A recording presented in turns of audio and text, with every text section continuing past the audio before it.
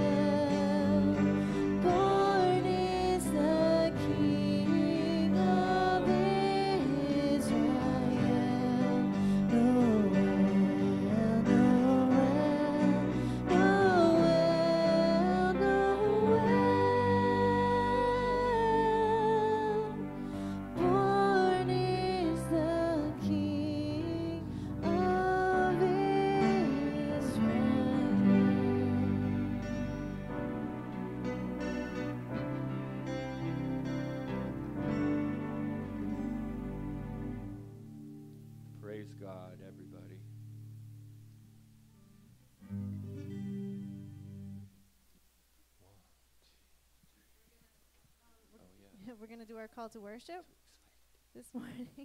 it's found in Matthew um, chapter, I believe it's 1, verses 22 through 23.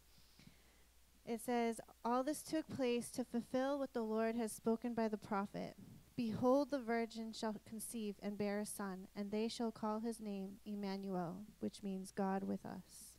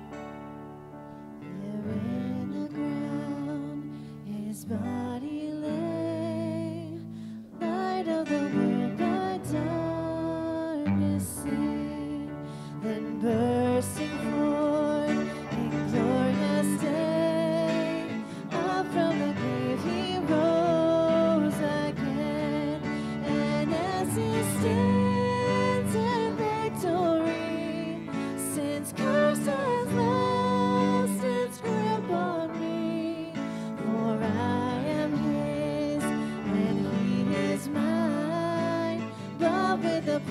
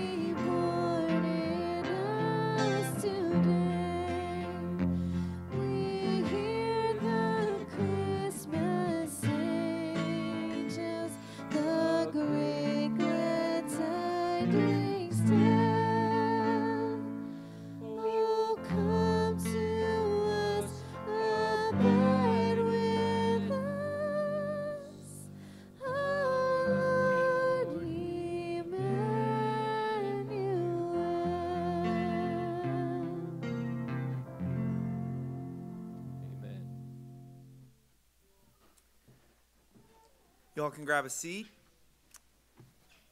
Good morning, everyone. Welcome to Winthrop Street Baptist Church. My name is Grant. I am one of the pastors here. It's so good to be with you all this morning, worshiping our Lord and Savior Jesus Christ together. Amen. Amen. A few brief announcements for us this morning. Uh, number one is our Christmas Eve service is right around the corner. Uh, so, December 24th, Saturday this year at 5 p.m.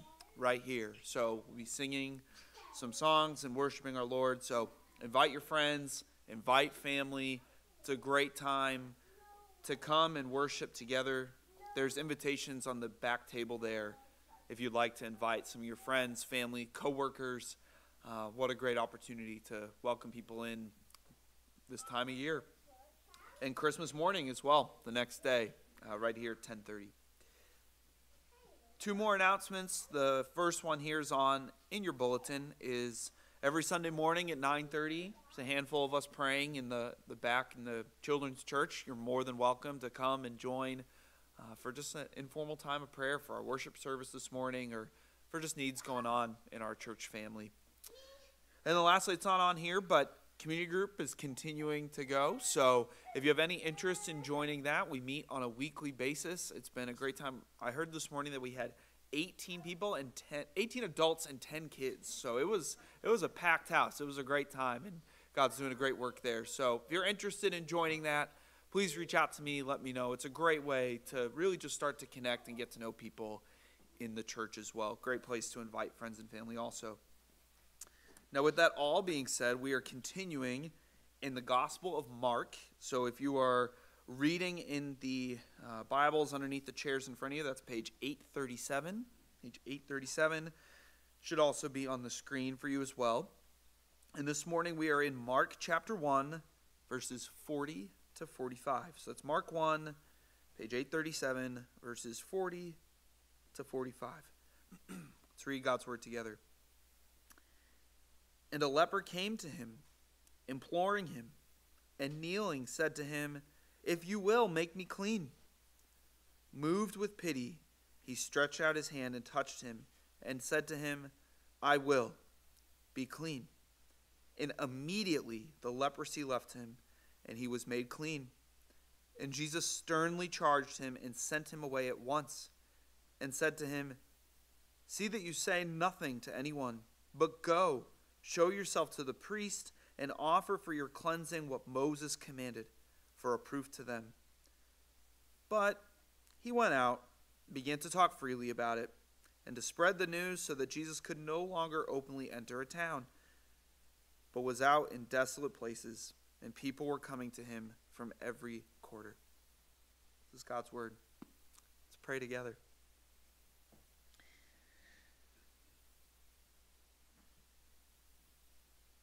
God, thank you for your word.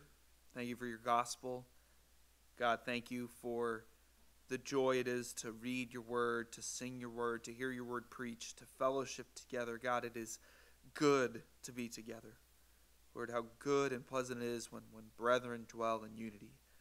It's a good day. It's a good day to worship you despite the brokenness and sin riddled world that we live in, Lord. We are thankful for rest and rejoicing in you, our Lord. God, we pray for uh, people, family, brothers and sisters in our congregation who are sick, struggling physically. Lord, we specifically think of, of Vincent. God, thank you for him and uh, Lord for the, the, progress he's making, Lord, and, and thank you, God, that uh, he's continuing to, to rely on you and, and remember you, oh God. We pray for just continued blessing and healing for him, and Lord, that his reliance will continue to be on you.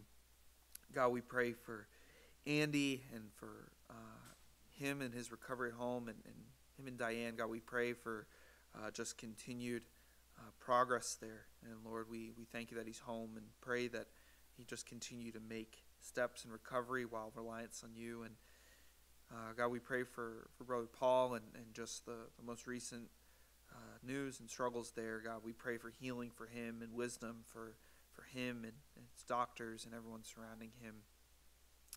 God, we pray for many others that, that may be struggling with colds and RSV and COVID and just all the things going around. God, we uh, pray just for your relief, your healing hand, but we also pray, God, uh, that we won't let any of these things be distractions ultimately from you.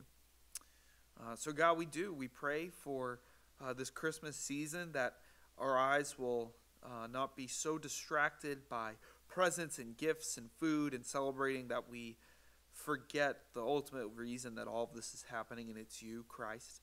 Um, so, God, we pray that in the midst of fun and maybe stress and excitement and all the, the emotions and flurries these next couple weeks are going to bring for many of us, we pray, God, that it will ultimately draw us closer to you. Lord, that we will lean on you and your strength for encouragement. Lord, and that we will be bold and courageous for your name's sake as we encounter many people uh, with work parties, with family coming into town, with us going to family uh, and friends, and just people we don't often get to see. God, we pray that if fellow believers, we can be just a, a rich encouragement for them. And God, for uh, those that don't know you yet, God, we pray that they will and that our witness and testimony can be a small moment that you use for your glory and for their good. God, we do also pray for uh, churches in our community, God, as we're nearing Christmas and it's one of the busiest times of year for people to come out to church. God, we pray and beg you that the city of Taunton and our surrounding towns and, and neighborhoods, Lord, will have churches proclaiming Christ crucified. It's not about Winthrop Street, it's about you, Lord. So we pray, God, for us as well as for many other churches in our area, that your gospel will go forward and that we will see revival for the name of Jesus Christ in our city and in Massachusetts and all over the world. We love you, God. Thank you for the victory that we have in Jesus. We praise you, Father, for the gift of grace in him. It's in your name we pray. Amen. Uh, let's stand and continue our worship in our singing of the doxology.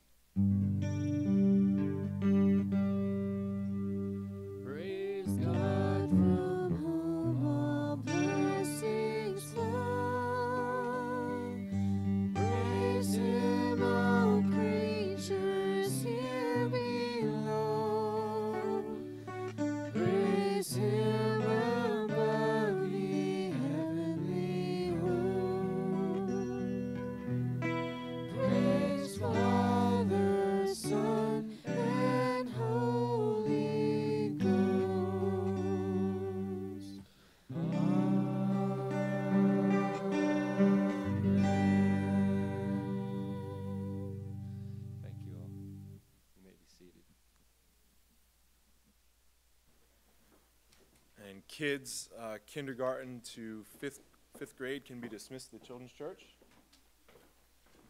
And uh, if you have your Bibles open, let's turn to Mark chapter 1. And we're going to finish up Mark's, or chapter 1 of Mark uh, today. We'll look at this short little uh, story.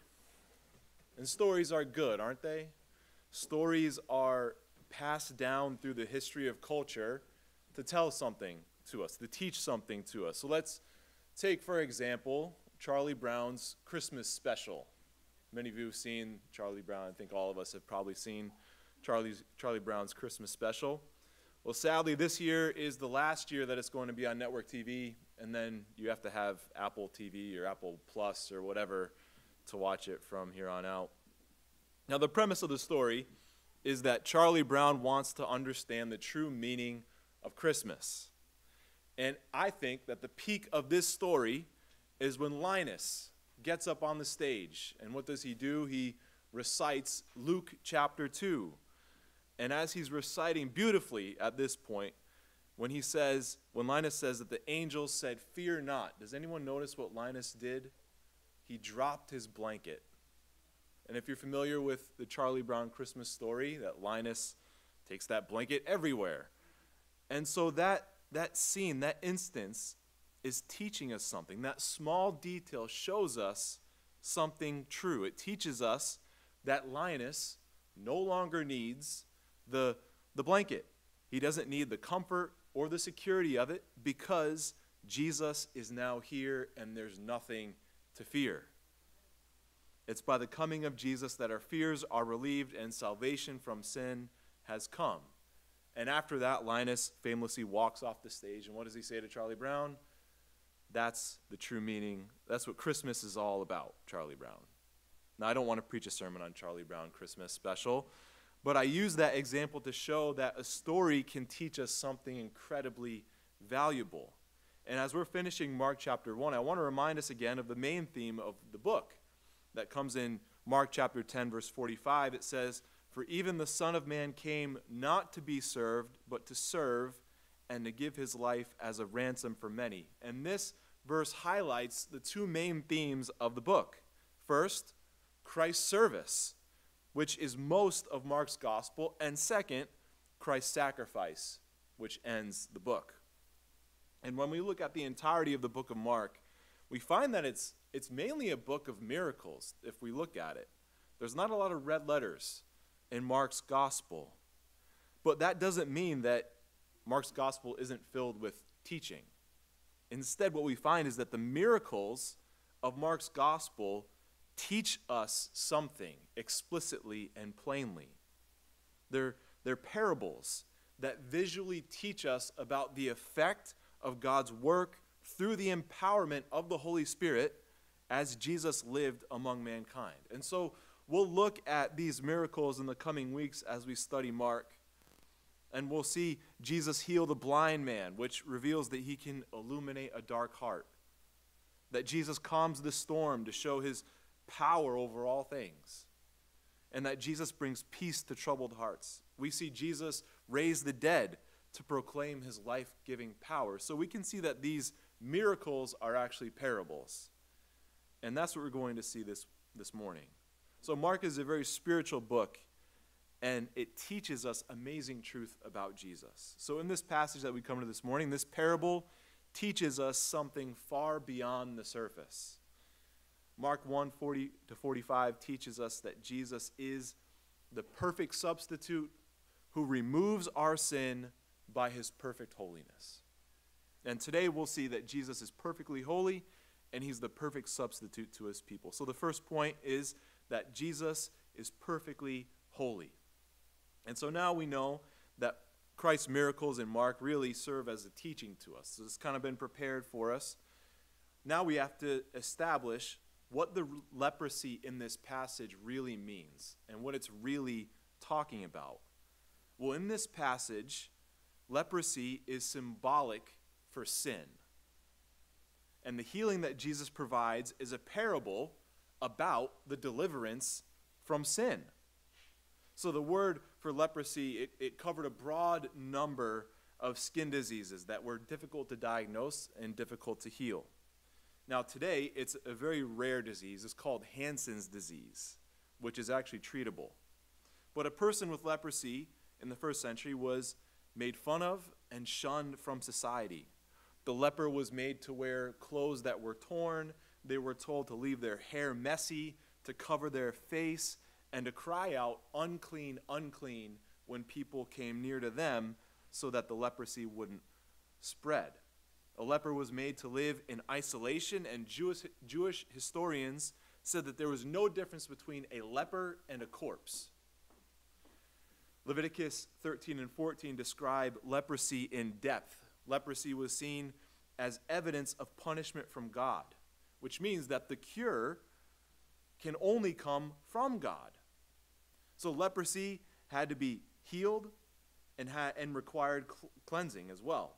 And obviously, no one else in the Bible could heal a leper with a single touch other than Jesus.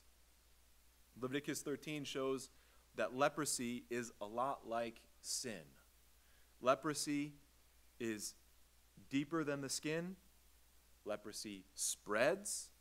Leprosy defiles. It isolates and contaminates.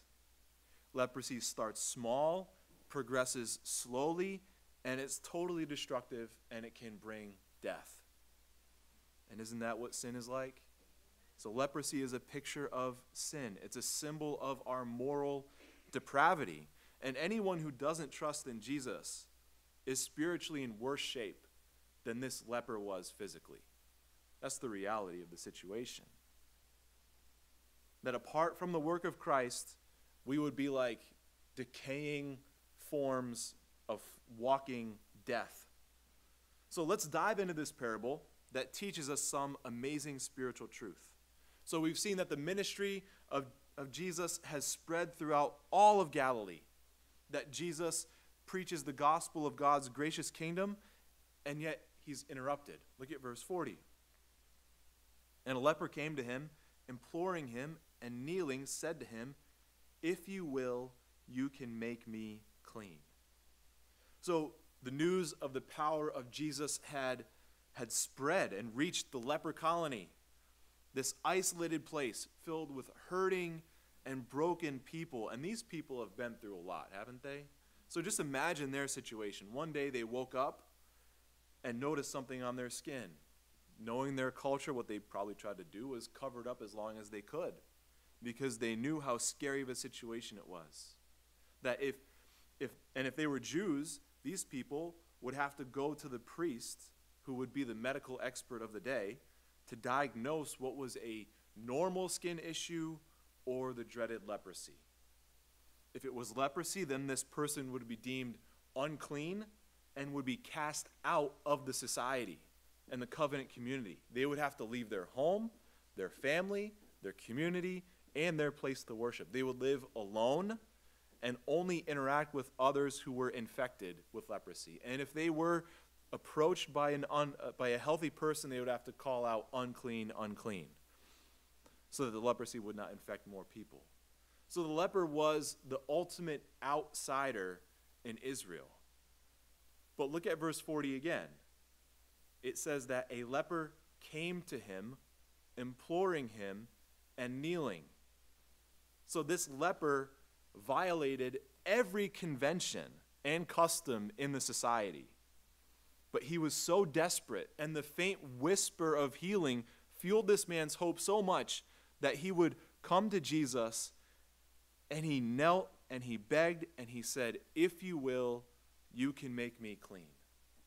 And isn't that in itself an amazing statement of faith? It wasn't whether Jesus could heal him, it was if Jesus would heal him. So we actually get more details about this story from the other gospel accounts. Luke chapter 5 says that this man pushed his way through an amazed crowd and he laid down his, his mass of rotting flesh before Jesus because his body was full of leprosy. So the disease had run its course throughout his body. So you can just you can just kind of picture this scene. And if you've ever seen a picture of someone who has leprosy, one picture is enough. You won't want to see it again. It, eh, because the issue behind leprosy is that there's the sense of pain is destroyed. So the disease brings numbness to the extremities and to the eyes and ears and nose. And so the disfigurement comes from being unable to feel things. So you can burn your hands, you can wash your face with hot water, and it can cause problems.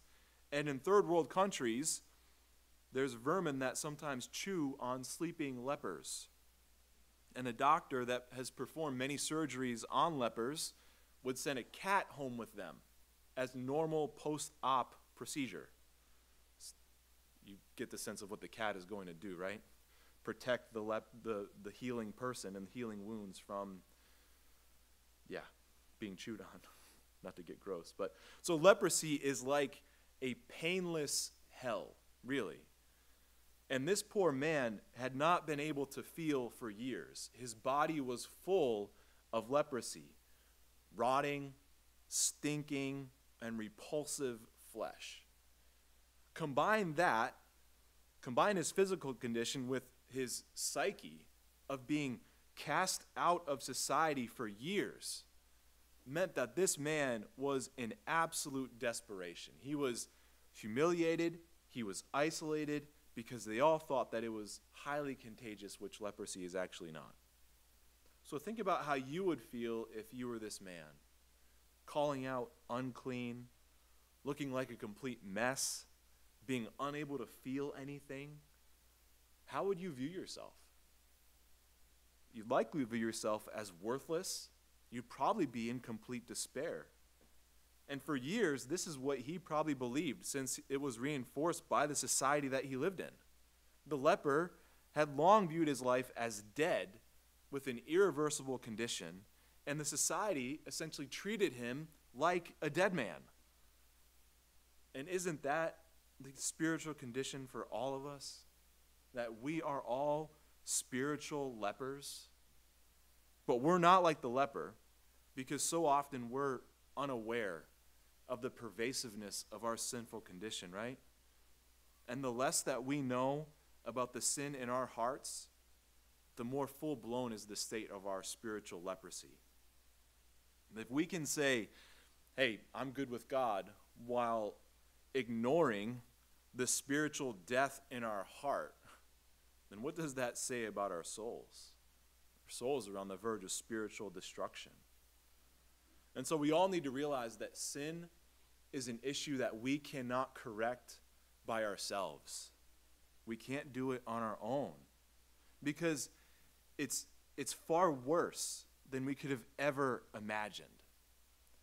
And you know, we need to really feel this because it's not just that we sin, it's that our whole nature is wrong. Our whole nature is corrupted. And if you don't feel that, if you don't get that sense, then you'll never feel the need of a Savior. And Christmas will mean nothing to you. It'll just be getting stuff and toys and hanging out with family and friends. But when you get that, and it happens by faith, then life, your life will change forever. And that's what happens to this leper. It happened by faith. Because what did he do? He had confidence in Jesus. Remember what he said? If you will, you can make me clean. The leper believed that Jesus could cure him. He thought, well, if Jesus can help others, then he can cure me. You know, the leper had a sense of caution because he knew that Christ could heal him, but would Christ heal him? Would it happen? And the difference between us and the leper is this we don't need to have any hesitation because we know the gospel and because we know the heart of Jesus. He came to serve and to give his life as a ransom. And healing this leper will fulfill the exact purpose of Jesus. The leper was in a hopeless condition, but he believed in Jesus and cried out to Christ to heal him. And in the same way, we must come to Jesus just like the leper, even though that we are sinfully sick sinners. We must come to Jesus believing that Jesus is the only one who can change our lives and who can make us whole again. And so this man goes against convention. He dares to come to Jesus with a statement of faith in the power of Jesus, knowing and hoping that Jesus would actually bring healing to him. How is Jesus going to respond? What is he going to do? I mean, any good Jewish rabbi would never risk being this close to a leper. They wouldn't want to become unclean. But what will Christ do? Look at verse 41. Moved with pity, he stretched out his hand and touched him and said to him, I will be clean. And immediately the leprosy left him and he was made clean. Isn't it amazing? Jesus makes the unclean clean. He didn't turn away from the man, but instead, Jesus reached out towards the man. He was moved with compassion and he touches him. Now, Jesus here went, went beyond pity. It's more than just pity or sympathy or empathy. Jesus had like a, a gut wrenching compassion for him.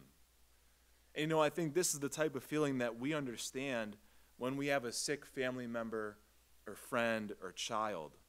You know, we say, oh man, I wish I could be sick instead of them.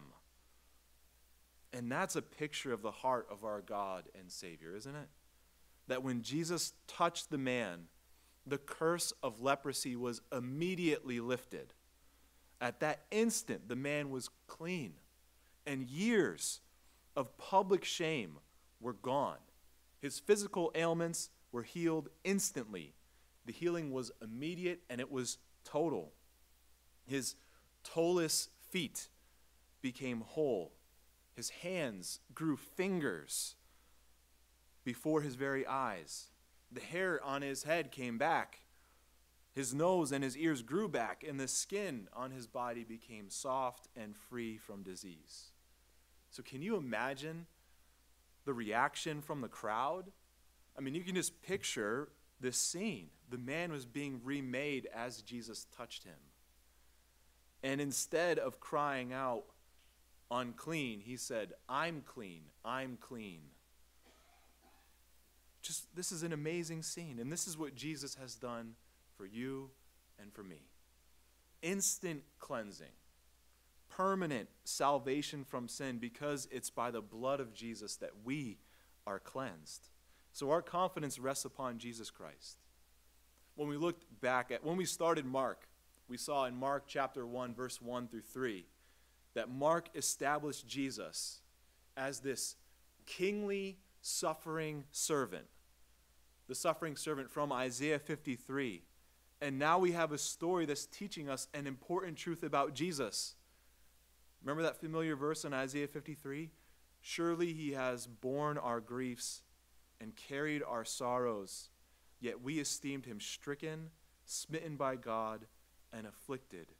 So, in this scene, in this story, which is a parable for us, Jesus took on himself the sickness of this leper and he cleanses him and makes him whole. And isn't it amazing and remarkable to think that Jesus is the suffering servant who has compassion for our hearts that are filled with the leprosy of sin? And it's on the cross that Jesus actually felt the weight of our sins. He felt the punishment for our sins. On the cross, Jesus bore the grief of our sin and carried the sorrow for our sin. So Jesus has cleansed and healed us just like he cleansed this leper. What wonderful grace God gives to those who believe in him, right? I mean, look, look at how Jesus healed him. It's with a touch. He he stretched out his hand and he touched him. He didn't he didn't cower in fear. He didn't run away.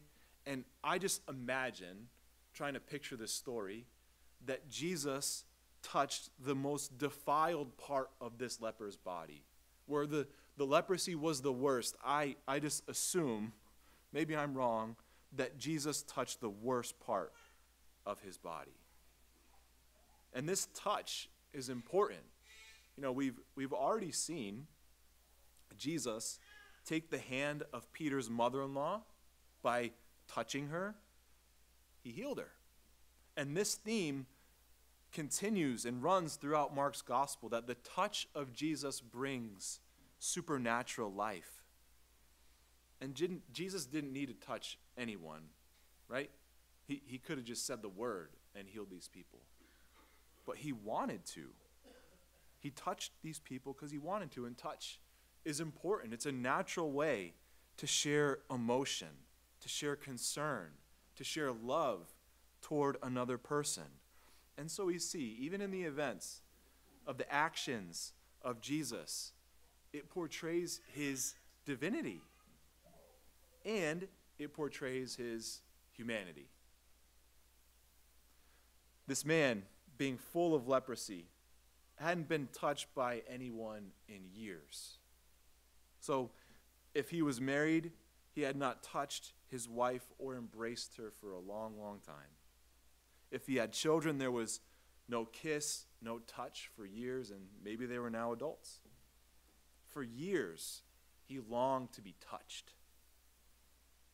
Just think of the, the desperate loneliness this man felt. And Jesus extended his hand and touched him. He firmly placed his hand on this leper and you can only imagine the amazement that coursed through his body as the leper felt the divine power of Jesus that brought him complete healing and restoration to his body. Just imagine that. You know, the, the crowds, the people were shocked. The disciples didn't have words. Just this, this touch of Jesus, you know, I'm, I'm sensing that there's probably a lot of people here that would be like, man, if Jesus would just touch me and cleanse me, get rid of this physical ailment, get rid of this situation, just the touch of Jesus would do wonders. And sometimes in this life, we have to realize that, that the physical ailments that we have are ways of God to, to show His glory in our heart and in our lives, even as difficult as it is. We trust Jesus can heal us, but sometimes He doesn't. We don't understand His ways and His purposes, and yet we live a life of faith, trusting in Jesus, knowing His grace for us and His goodness toward us. And so, even in the physical ailments that we experience or the confusion of life, we continue to trust in Christ, knowing that He's with us. He identifies with us.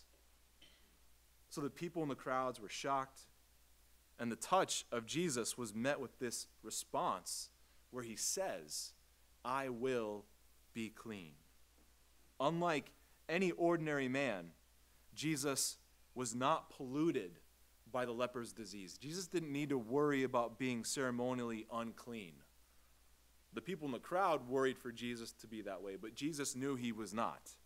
Because what happened was the leper is cleansed by the gracious touch of the contagious holiness of Jesus. Jesus was not stained or contaminated by this leper, instead, it was the opposite the holiness of Christ pervaded this man's life so that he would be able to know and trust and follow God. Think of it this way, too. What do we do at Christmas? We're celebrating the incarnation. We're celebrating the coming of Christ, and the touch of Jesus to this leper shows us that Jesus had a physical body, right? And it says to the leper, I'm with you. I understand you and I love you. So Jesus took his, his pure hand and placed it on the rotting flesh of the leper, and what a wonderful parable of the incarnation it is to us. The incarnation, when Jesus took on human flesh in order to live the perfect life and to become sin for us so that we can get his perfect holiness and purity and his righteousness. It's called the great exchange by Martin Luther. 2 Corinthians 5:21 says, "For our sake he made him to be sin who knew no sin, so that in him we might become the righteousness of God." And so on the cross what happens? There's a great exchange. We give Christ our sins, he takes our sins and gives us his righteousness. It's a beautiful exchange. And on the cross it's as if Jesus touched our flesh and healed us by his perfect holiness, by his perfect righteousness. So that when we see Jesus reach down to touch this leper and place his holy hand on the decaying, rotting, foul smelling flesh of the leper, we see what he did for him, and more importantly, we also see what he has done for us. He has removed our sin, he has healed us spiritually, he has cleansed us by his perfect holiness, and he does so by faith. We have faith in the person and work of Jesus Christ, and we're saved by that wonderful sovereign grace of God in Jesus. But Jesus isn't done caring for this man. Look at what happens next. Look at verse 43. And Jesus sternly charged him and sent him away at once, and said to him, See that you say nothing to anyone, but go show yourself to the priest, and offer for yourself cleansing what Moses commanded for a proof to them. So the only way that this man could be reinstated back into society was to go be examined again by the priest so that he could be ceremonially clean in order to be socially restored. Jesus wants the man to go to the priest not only as obedience to the law, but also as a witness to the priest about the power of Jesus, as verse 44 says for a proof to them. Leviticus chapter 14, which I know I am fully aware is many of your favorite chapters in the Bible. Leviticus 14 details the offerings that must be made in order for someone to be cleansed from leprosy. Again, wonderful devotional material for you. But we know all of God's word is profitable, right? So we'll talk about it now. So that it, Leviticus 14 says that these offerings involved birds and grains, which would be symbolically sacrificed as a means to portray cleansing. First, from the leprosy, which, provi- which would provide this ceremonial cleansing necessary for this leper. And then, after eight days, after the cleansing and washing, the former leper could now come into the tabernacle and he would make offerings for his sin. They would, and for that offering, they would take two male lambs without blemish and a ewe lamb to be provided as a sacrifice for the guilt offering of their sin. And the blood of those lambs would be taken and placed on their right ear, on their right thumb, and on their right big toe of the cleansed person, just as what was done with the consecration of priests. And what the priest would do is, the priest after that would make atonement for the sins of the man before the Lord. And if the cleansed leper was poor, God made a way for that man. There were special provisions for the poor in Israel to be able to make these sacrifices to the Lord. Isn't it amazing? God doesn't discriminate based on socioeconomic status. And for us now today, we don't have leprosy, hopefully. Right? I don't know. Hopefully, you don't have leprosy. If you do, I don't want to see it. We don't have lambs. We don't have birds. But we know that through the sacrifice of Jesus Christ, the entire Old Testament sacrificial system was fulfilled. Hebrews chapter 10 says that it's impossible for the blood of bulls and goats to take away sins. And that we have been sanctified through the offering of the body of Jesus Christ once for all. So the cleansing that we need from our sin comes to us through the death of Jesus Christ, the Lamb of God who takes away sin, and whose blood paid the price for the sins of those who would come to believe in him. How amazing is that? Praise God for the effective sacrifice of Jesus to give salvation and redemption to us who believe in him. Amen? So we see this, this perfect holiness of Christ, and now as we come to the end here, we see the perfect substitute in Jesus. So in Jesus, we have the perfect substitute, and we get a glimpse of this within the story of the leper being cleansed. Jesus told the man to go to the temple, don't say anything to anyone. Just like he tells the demons last week, we saw not to speak so that they don't gain spiritual power from speaking. He tells the disciples not to speak because they're confused about the identity of Jesus. And here, it's kind of pragmatic. He tells the healed man not to speak so that Jesus would be able to kind of have mobility in society, so that he'd be able to move freely and openly without causing a complete uproar. And because Jesus doesn't want people who come to him just for the miracles. He wants or he, doesn't want the people just to come and see something cool. Jesus wants people who will truly follow him, who want truth, and who want to know Christ. Jesus doesn't want people to come to him just to get what they want. Instead, he wants people to come to him for him. Amen? But look at what this man does. He doesn't shut up, he keeps talking. Look at verse 45. But he went out and began to talk freely about it and to spread the news, so that Jesus could no longer openly enter a town, but was out in desolate places, and people were coming to him from every quarter. You kind of understand why the leper disobeys, right? The leper left the presence of Jesus and he went out and told everyone what Jesus had done. And you can get the excitement. He, he essentially found a new lease on life. He, and he's, he's got a new life. He's not dead anymore. He's healed. He's restored. He's joyful. He's, he's praising God. But he disregarded the clear command of Jesus. And he, he told everyone. And look at the effect that it had on the preaching ministry of Jesus. He could, quote, no longer openly enter a town. So now look at where Jesus is. Jesus is left to the desolate places. And yet, even with that, the people still come from everywhere to find him. So, at the start of the passage, what did we see? We had a leper who was the outcast, who was living in the lonely, desolate places in the leper colony. Come to Jesus, and look at what happens now. Jesus is now in the desolate places. Jesus and the leper have swapped locations. Isn't that crazy to see? The leper is on the inside of the community with his family and friends, while Jesus is on the outside in the lonely, desolate place, unable to even enter into a town. And that's a picture of substitution.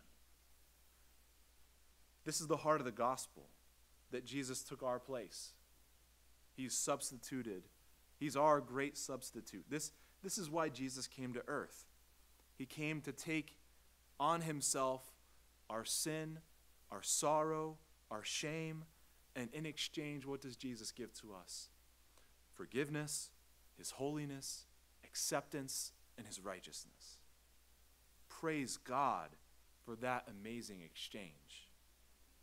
And praise is the natural response of true believers. And this is what we celebrate at Christmas each year that the coming of Jesus Christ to bring his forgiveness, his redemption, and the life of salvation to the world. This is why we sing of the wonderful grace of our Lord Jesus Christ, that his grace is far greater than all of our sins. So if you have yet to come to believe in Jesus Christ, and you're here this morning, let me encourage you trust in him right now. There's no reason to not.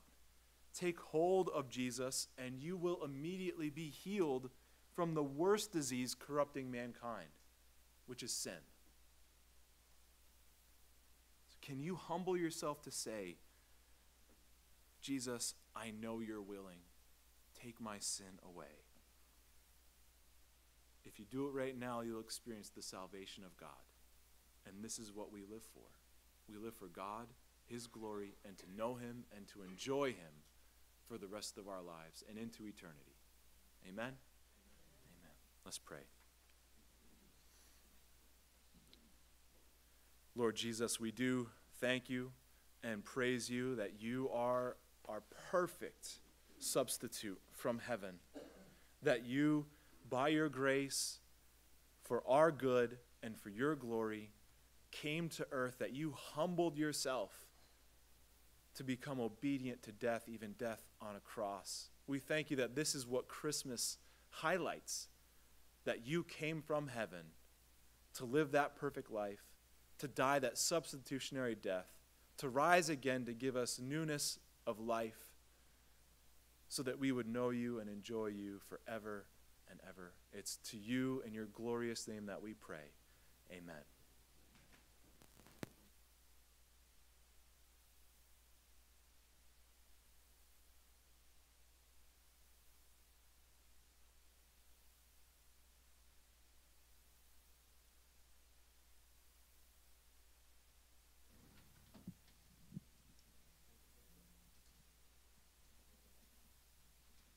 Will you all rise and join us as we sing our last song, Grace Greater Than Our Sin?